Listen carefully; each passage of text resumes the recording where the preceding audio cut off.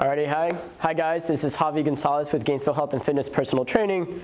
Today we're going to go over some great exercises to improve overall athleticism and explosiveness uh, for your sport, may it be basketball, volleyball, something that requires you, requires you to produce a lot of power from the hips or from your quads, whatever it may be. So the first exercise that we're going to cover is the kettlebell swing, and we're going to talk about a specific variation that you can modify from a traditional kettlebell swing to focus on the specific range of motion for the sport that you're playing that requires explosiveness. Um, so when you go to jump, tech, normally you shouldn't be going super duper low, right?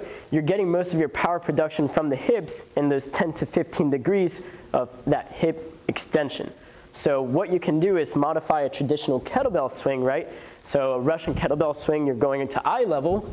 American, you're going up overhead, right? You can modify this hip hinge mechanic for that range of motion specific to your sport where you need to produce lots of power in a short window of time.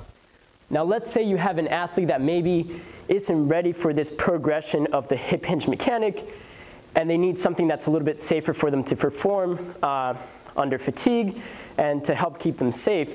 You can take this down to the floor, right, literally, and modify it so that you can explosively produce power from those big drivers, the glutes, and explode off the ground in a simple hip hinge.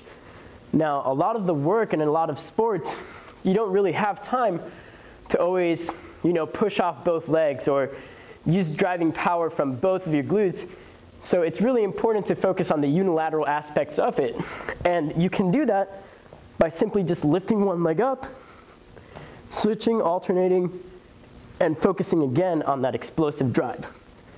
Hope you enjoyed the video and that these exercises help you improve your explosiveness and athleticism. Catch you next time.